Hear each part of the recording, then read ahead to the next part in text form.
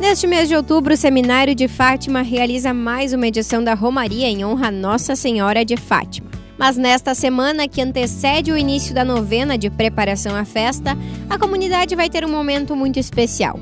O dia de São Francisco, padroeiro dos animais, será lembrado e celebrado de uma forma muito especial.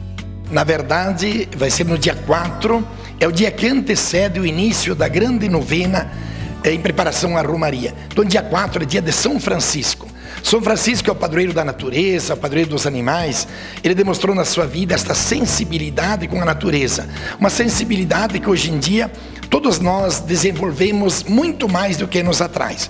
Por isso, dia 4, que é dia de São Francisco, uma quinta-feira, nós estamos promovendo lá na esplanada do santuário dois momentos de bênção dos animais, das 9 até as 10 da manhã e das três da tarde até as quatro da tarde.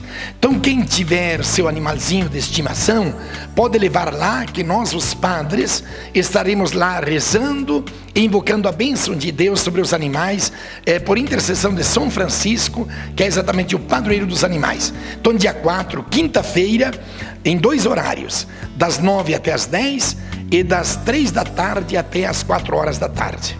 Você que tem seu animalzinho de estimação, Vá até a esplanada do santuário e receba uma bênção especial.